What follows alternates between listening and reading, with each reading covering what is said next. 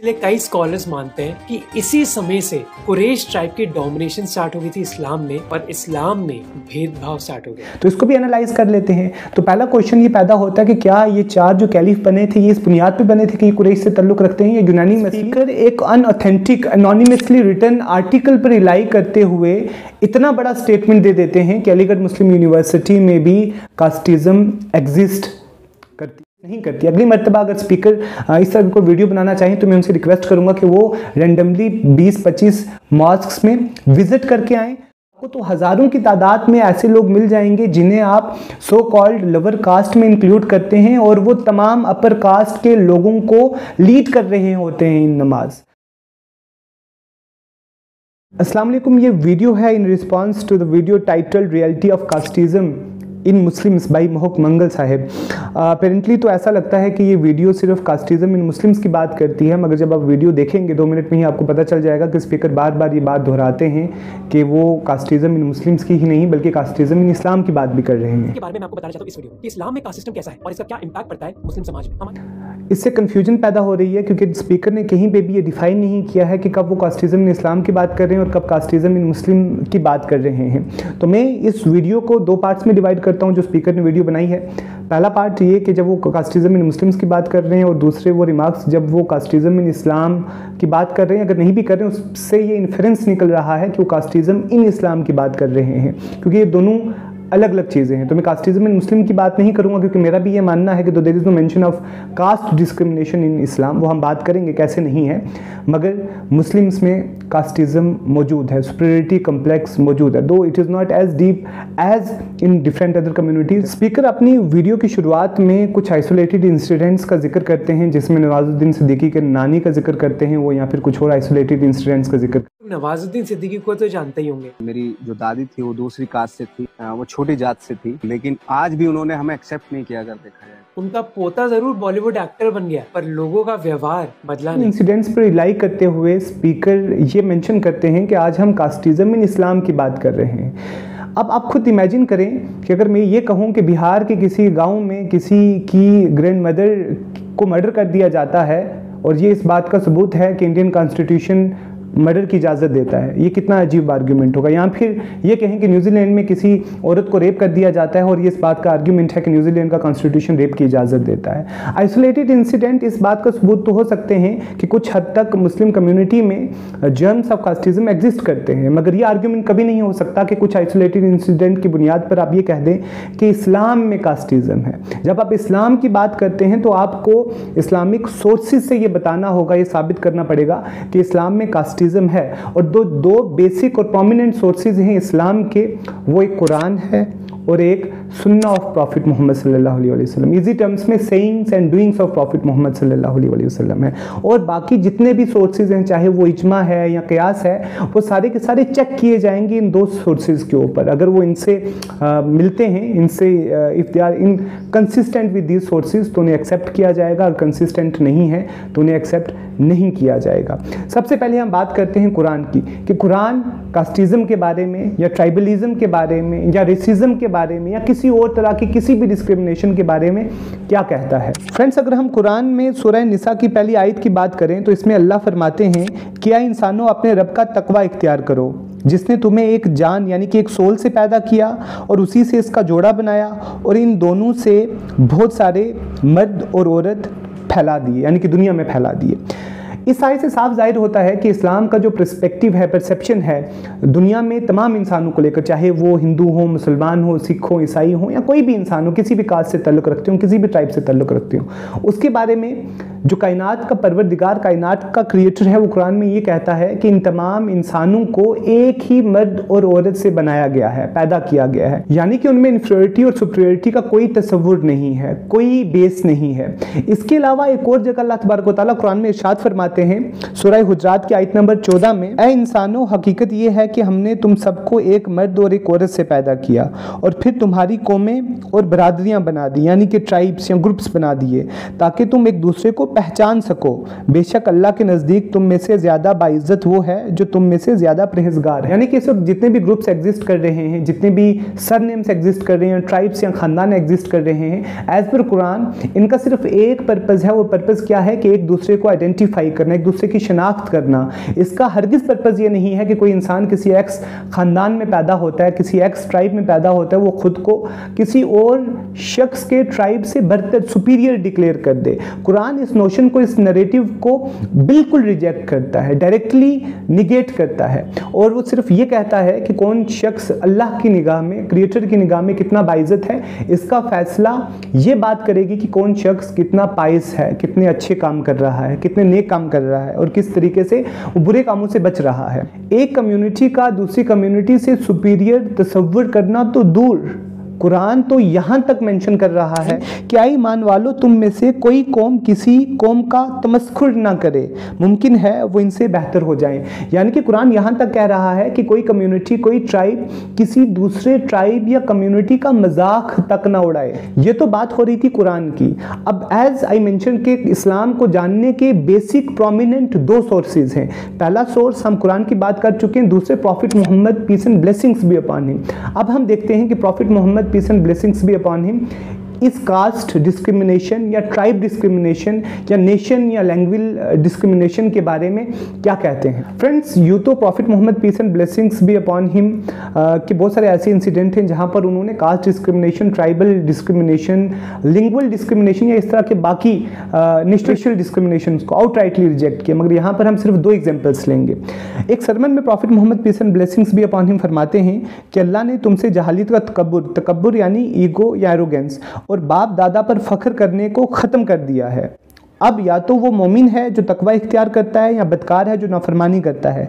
तमाम लोग आदम की औलाद हैं और आदम मिट्टी से बनाए गए हैं। यहाँ पर आउटराइटली ये चीज़ बताई जा रही है कि आप सिर्फ़ दो डिवीज़न से पहला डिवीज़न उन लोगों का है जो कायनात की परवर दिगार यानी कि क्रिएटर की बात सुनकर उसे एक्सेप्ट करते हैं, उसको फॉलो करते हैं, अच्छे काम करते हैं, नेक अमल करते हैं और दूसरे वो लोग हैं जो कायनात के परवर दिगार की एग्जिस्टेंस को निगेट करते हैं, उनको आउटराइटली रिजेक्ट करते हैं, बुरे काम करते हैं फौशी फैलाते हैं हैं, वगैरह वगैरह। और फिर अल्लाह तबारक ताली ये कहते हैं कि तमाम लोग जितने भी इंसान हैं, वो आदम की औलाद हैं। They are all sons and daughters of Adam and Adam was created from mud आदम मिट्टी से बनाए गए थे। यानी कि उनमें इसके अलावा और कोई भी फ़र्क नहीं किया जा सकता। तमाम लोग बराबर हैं।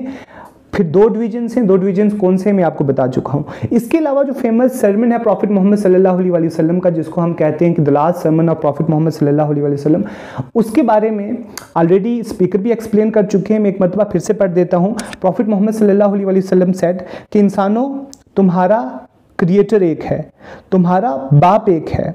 खबरदार किसी अरेबियन को किसी नॉन अरेबियन पर और किसी नॉन अरेबियन को किसी अरेबियन पर और किसी वाइट को किसी ब्लैक पर और किसी ब्लैक को किसी वाइट पर कोई फजीलियत, कोई सुपरियरिटी हासिल नहीं है एक्सेप्ट पाइटी तो ये इस्लाम है जो इस्लाम दुनिया में आया ही इस तरह की डिस्क्रिमिनेशन के ख़िलाफ़ है, उसमें और ये सब जो चीज़ें मैंने आपके सामने बयान की हैं, आप खुद डिसाइड करें कि क्या इतने आउटराइटली रिजेक्शन के बाद भी कोई शख्स ये कह सकता है या किसी के पास ये कहने का हक है कि इस्लाम में कास्टिज़म एग्जिस्ट करती है।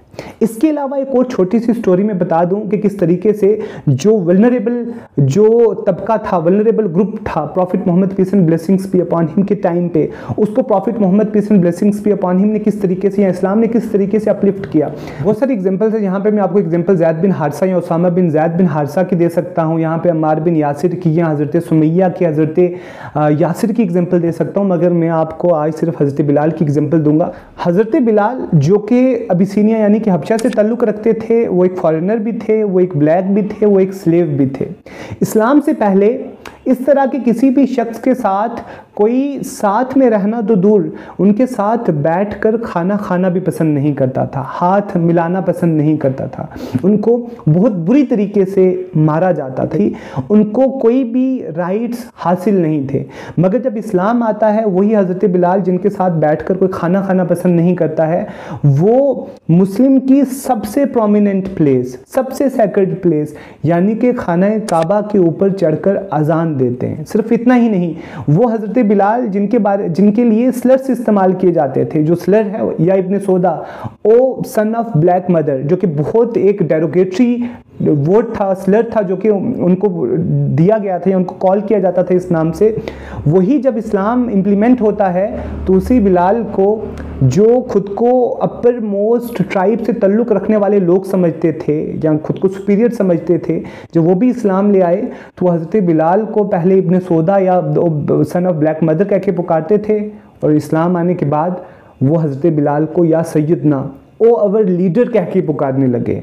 That was the upliftment, that was the empowerment of these vulnerable groups during prophet Muhammad सल्लल्लाहु अलैहि वसल्लम और after the advent of Islam आप खुद आप अंदाज़ा लगाएँ कि क्या इसके बाद किसी शख्स को ये कहने की इजाज़त है कि वो ये कहे कि इस्लाम प्रमोट्स कास्टिज्म के अलावा एक और जगह, जब स्पीकर अपर कास्ट हिंदूज के कन्वर्जन की बात करते हैं। अब आप सोच रहे होंगे कि लोअर कास्ट हिंदूज जब कन्वर्ट करते हैं तो वो लॉजिक तो समझ आती है कि वो कास्टिज्म से परेशान हो गए और वो इस्लाम में जाना चाहते हैं। ये अपर कास्ट हिंदूज ने क्यों डिसाइड किया कन्वर्ट करने का? कि आप मेरे राजा को कैदी मत रखो। बादशाह ने यह बात मान ली, पर एक कंडीशन पर, कि अलादिया खान के पूर्वज को इस्लाम अपनाना होगा। इसी की वजह से अलादिया खान का परिवार ब्राह्मण समाज से मुस्लिम समाज में आ गया। और इनफैक्ट ये चीज़ इतिहास में कई बार है तो उससे इन्फ्लुएंस ये निकलता है, ऐसा लगता है कि स्पीकर ये कहना चाह रहे हैं कि जो अपर कास्ट हिंदूज की कन्वर्जेंस हुई है, वो फोर्सफुल कन्वर्जेंस उनके पास कोई और रास्ता नहीं था एक्सेप्ट एक्सेप्टिंग इस्लाम मगर हिस्टोरिकली ये बात गलत है इफेक्चुअली ये बात बिल्कुल सही नहीं है। इस तरह का अगर कोई आइसोलेटेड इंसिडेंट हुआ भी है तो ना तो उसको मुस्लिम सपोर्ट करते हैं, ना ही इस्लाम सपोर्ट करता है। इस्लाम का क्लियर स्टैंड है इस पर बंदूक रखकर किसी को इस्लाम कबूल नहीं करवा सकते और Quran clearly says about this कि दीन में कोई ज़बरदस्ती नहीं है। ला इकरा फिद्दीन, कि दीन में कोई ज़बरदस्ती नहीं है। अब इस पॉइंट पे कि अगर क्या फोर्सफुल कन्वर्जेंस सब की सब ऐसे ही हुई हैं, ये फैक्चुअली रॉन्ग है। इस पे मैं आपको दो एग्जांपल्स देता हूँ। पहली एग्जांपल सेवन सेंचुरी के ब्रह्मन किंग चीरमन पिरुमल की है। ये केरला से ताल्लुक़ रखते थे और जब इन्होंने इस्लाम के बारे में जाना तो ये इस्लाम से इम्प्रेस होकर इस्लाम ले आए। और भी एग्जांपल्स हमें मिलती हैं जिसमें बहुत सारे अपर कास्ट से तल्लुक़ रखने वाले लोगों ने इस्लाम से इम्प्रेस होकर इस्लाम को इम्प्रेस किया, जिसकी एक बड़ी एग्जांपल कश्मीर रीजन है। कश्मीर रीजन में हर तरह के कास्ट के लोग रहते थे और जब इस्लामिक स्कॉलर्स ने आकर कश्मीर में इस्लाम प्रोपोगेट किया तो तमाम कास्ट के लोगों ने इस्लाम से इम्प्रेस होकर, इस्लामिक कल्चर से इम्प्रेस होकर, इस्लामिक वे ऑफ़ लाइफ से इम्प्रेस होकर इस्लाम को इम्ब्रेस किया और और वो विलफुल कन्वर्जेंस थी। तो मैंने आपके सामने सिर्फ़ दो एग्जांपल्स रखे ताकि आप ये जान पाएँ कि जो इन्फ्रेंस निकल रहा है स्पीकर की बातों से, वो फैक्चुअली हिस्टोरिकली सही नहीं है।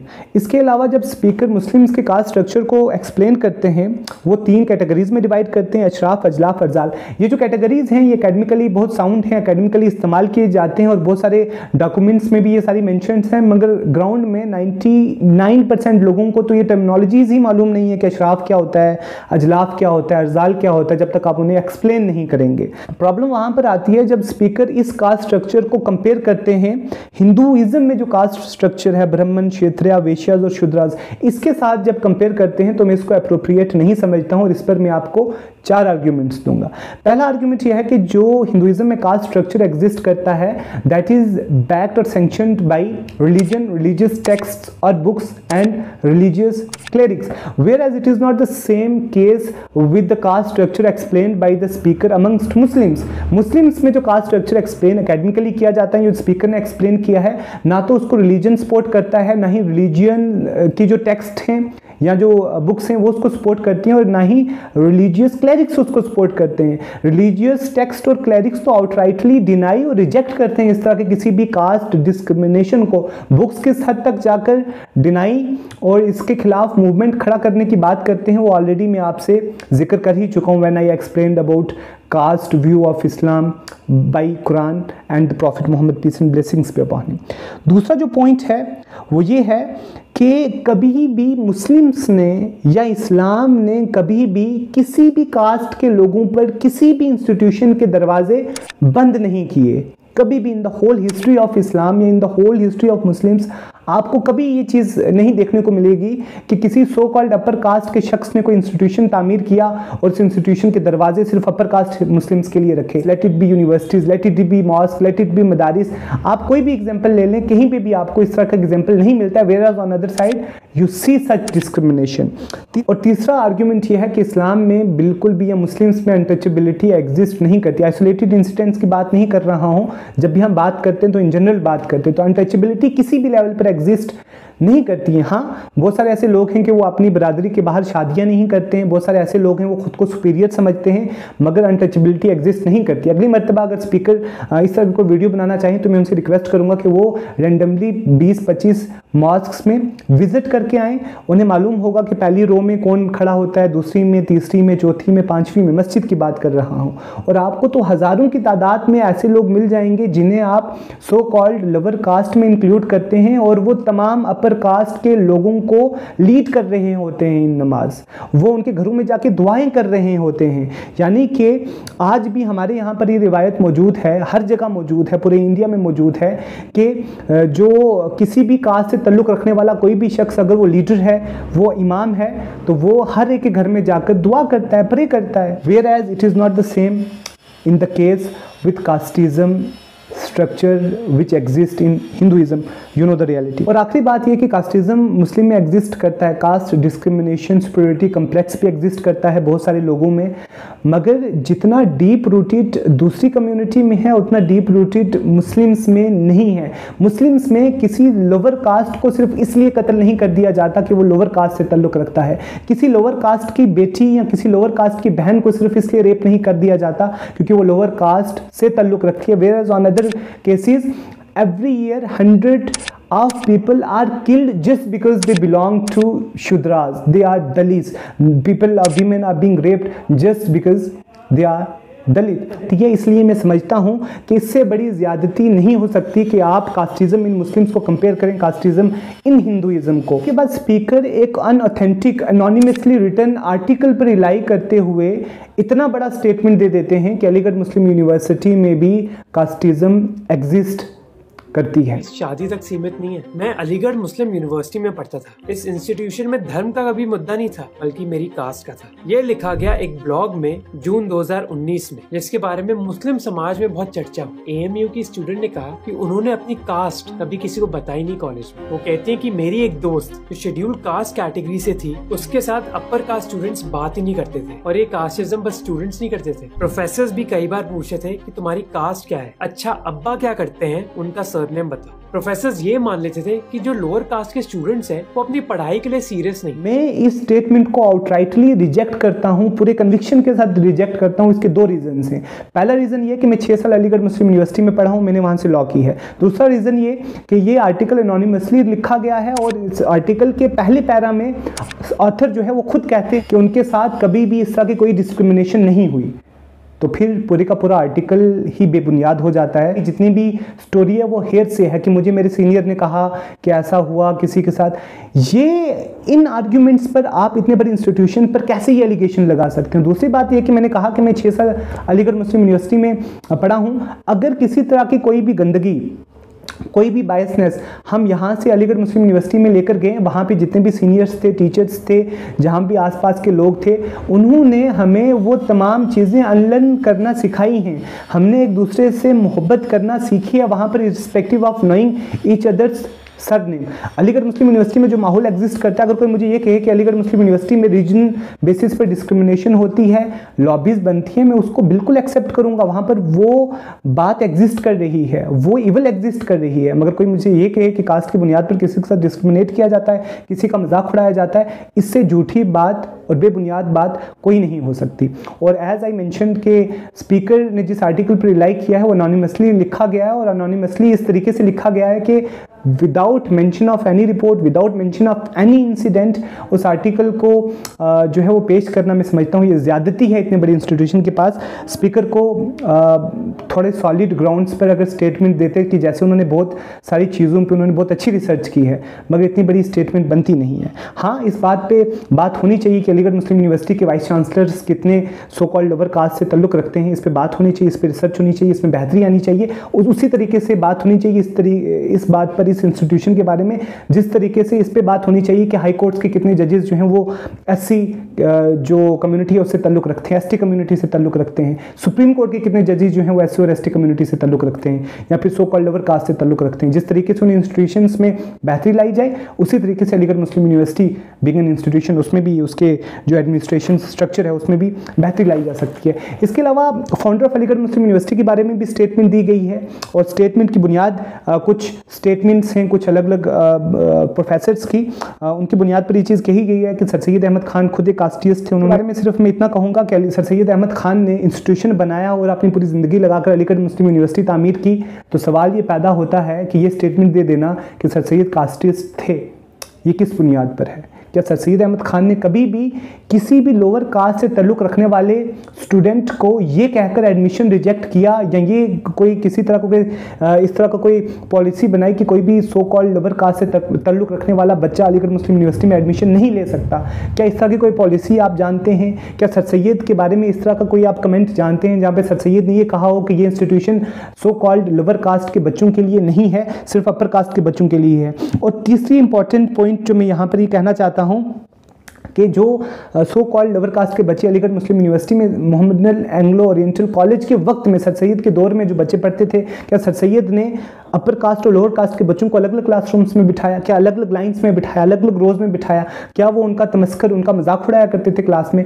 अगर इस तरह की कोई भी बात ऑथर के पास इस तरह का कोई भी एविडेंस मौजूद नहीं है तो मुझे लगता है कि उनको इतनी बड़ी स्टेटमेंट नहीं देनी चाहिए। और दूसरा पॉइंट ये है कि अगर सर सैद ने इस तरह की कोई बात कह भी दी कोई बात कह भी दी, इसका इस्लाम से कोई लेना देना नहीं है। सर सैद जैसे आप हज़ारों स्कॉलर्स को लेकर आ जाएँ और उन सबको रिमूव कर दें, उनके कॉन्ट्रीब्यूशन को रिमूव कर दें, तब भी Islam will remain as Islam वो इस्लाम जो prophet Muhammad peace and blessings be upon him ने इस पूरी दुनिया को दिया था। ऑथर आखिर में आकर ये स्टेटमेंट भी देते हैं कि हो सकता है कि इस्लाम में कास्टिज्म ना हो मगर मुस्लिम्स में है मगर मुस्लिम्स में कास्टिज्म कैसे है इसके बारे में दो थ्योरीज हैं। एक थ्योरी के बारे में वो ये कहते हैं कि prophet Muhammad peace and blessings be upon him के बाद जो चार कैलिफ रहे हैं शुरू के जिस जिनको राइट गाइडेड कैलिफ भी कहा जाता है हज़रत बकर हज़रत उमर हज़रत उस्मान एंड हज़रत Ali including six month of imam Hasan as well तो ये तीस साल की जो राइट गाइडेड uh, जो कैलिफेट थी इसमें भी जो चार लोग थे चार कैलिफ थे वो चारों के चारे कुरेश से तल्लुक रखते थे और स्पीकर का ये कहना है कि कुछ लोगों का ये कहना है कि जो कास्टिज्म की बुनियाद है वो यहीं से पढ़ना शुरू हो गई थी। सुन्नीस का मानना है कि प्रॉफिट मोहम्मद के बाद चार खलीफा बने। जो मान लीजिए प्रॉफिट मोहम्मद के सक्सेसर थे, ये थे वो लोग जो इस्लामिक वर्ल्ड को रूल करें। अबू बकर, उमर, उस्मान गानी और अली, इन चारों खलीफा में एक चीज़ कॉमन थी कि ये चारों कुरेश ट्राइब से थे। इसीलिए कई स्कॉलर्स मानते हैं कि इसी समय से कुरेश ट्राइब की डोमिनेशन स्टार्ट हो गई थी इस्लाम में और इस्लाम में भेदभाव स्टार्ट हो गया। तो इसको भी एनालाइज कर लेते हैं। तो पहला क्वेश्चन ये पैदा होता है कि क्या ये चार जो कैलिफ बने थे, ये इस बुनियाद पर बने थे कि कुरेश से तल्लुक रखते हैं? या यूनानी मसली तमाम मुस्लिम्स ने इनको जो है वो इलेक्ट किया था। तो हमें आंसर ये मिलेगा कि बहुत सारे लोगों ने, तमाम लोगों ने जो कंपेनियंस थे pious companions of the prophet Muhammad peace blessings be upon they came together and elected these four है ना as the caliph of whole ummah तो पहली बात तो ये कि इनकी बुनियाद सिलेक्शन की बुनियाद जो है वो क्रेश नहीं थी। बुनियाद क्या थी कि जो जितना ज़्यादा इस्लाम जानता है उसे मुस्लिम्स का लीडर बनना है। और जो प्रॉफिट सल्लल्लाहु अलैहि वसल्लम के साथ सबसे ज़्यादा रहे हैं तो वो सबसे ज़्यादा इस्लाम जानते हैं, इसलिए उनको खलीफा बनाया गया, कैलिफ बनाया गया। ये था परसेप्शन इसके पीछे का। और हज़रत बकर, हज़रत उमर, हज़रत उस्मान, हज़रत अली से ज़्यादा इस्लाम कौन जानता था? उसके बावजूद अगर किसी के जहन में कोई डाउट है कि क्या सच में बाकी जो ट्राइब्स थे उनके साथ डिस्क्रिमिनेशन होता था तो उसके लिए हम, मुझे लगता है कि हमें ये देखना चाहिए कि जो पावर स्ट्रक्चर था कैलिफेट राशिदून के वक्त, जो गवर्नर्स थे, जो काजी थे, जो ऑफिसर्स थे मिनिस्टर्स थे क्या वो सब के सब भी कुरेश से ताल्लुक़ रखते थे? क्योंकि डिस्क्रिमिनेशन हो रहा है तो हर लेवल पे हो रहा होगा। गवर्नर जो थे राशिदून के वक्त में they played very important role क्योंकि उस वक्त कम्युनिकेशन तो था नहीं सोशल मीडिया का या फ़ोन का। तो डायरेक्टली अपने रीजन में गवर्नर से रूल किया करते थे, क्योंकि एक एक तीन तीन महीने लग जाया करते थे। लेटर्स को एक जगह से दूसरे जगह तक ले जाने में, यानी कि उनके पास अथॉरिटी मौजूद थी। बात को काउंटर करने के लिए मैं आपके सामने सिर्फ़ पाँच नाम रखूँगा, जो कि कुरैश से अलावा बाकी ट्राइब से तल्लुक रखते थे। कुछ स्लेव थे, कुछ डाउन ट्रोडन वलनरेबल ग्रुप से तल्लुक रखते थे और उन्हें हाई पोजीशंस दी गई, उन्हें मिनिस्टर बनाया गया, उन्हें गवर्नर बनाया गया। पहला नाम है सलमान अल फारसी ये फॉरेनर थे और इन्हें हज़रत उमर ने गवर्नर बनाया इराक का। अब यहाँ से अंदाज़ा लगाएँ कि कुरैश तो छोड़कर यहाँ पे तो यूनिवर्सल गवर्नेंस इस्टेब्लिश की जा रही है, कोई फॉरेस्ट से आके जो है वो गवर्नर का अहदा संभाल रहा है, मिनिस्टर बन रहा है, कोई किसी और जगह से आके गवर्नर का अहदा संभाल रहा है तो ये ये देना कि power structure remain in Quraish is very bogus दूसरा नाम, सहल बिन हुनेफ। ये ओस कबीले से ओस ट्राइब से तल्लुक़ रखते थे कुरैश से नहीं, जो गवर्नर ऑफ़ फारस थे, यानी कि गवर्नर ऑफ़ ईरान। चौथा नाम है उस्मान बिन हुनेफ का। ये ओस ट्राइब से तल्लुक़ रखते थे, अंसारी थे, इन्हें गवर्नर ऑफ़ बसरा बनाया गया। पाँचवा नाम है अमार इबन यासिर का। अमार इबन यासिर स्लेव थे। इनके साथ जो बर्ताव किया जाता था, वो ऑलरेडी मैं हज़रत बिलाल के वक्त एक्सप्लेन कर चुका हूँ। इनके वालिदा को, जो उनकी वालदा, हज़रत Sumayya was the first martyr of Islam उन पर इतना जुल्म हुआ।